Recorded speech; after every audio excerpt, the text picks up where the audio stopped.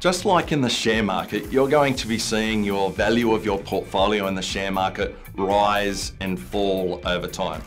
Don't get caught up in the emotion of the share market itself. And that's probably one of the best things about having the game running for that 26 week period. You're really uh, trading in a market that's much more like real life. So please don't get caught up in the emotion of the share market.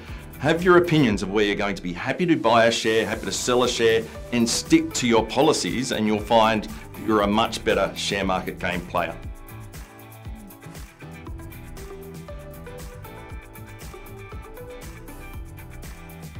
Now, with all investments, there's risk involved, and understanding your risk versus your return is important for maximising your overall profit within the share market game. A company that is expected to grow a lot in the future or has a relatively small share price might have the chance to grow significantly over time, but the chance that they could fall over that time as well would be quite high.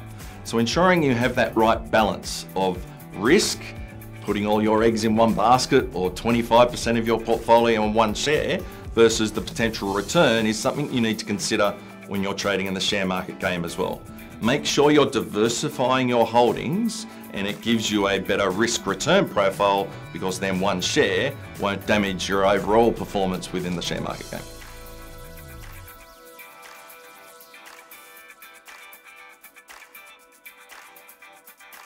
So you've done all your homework.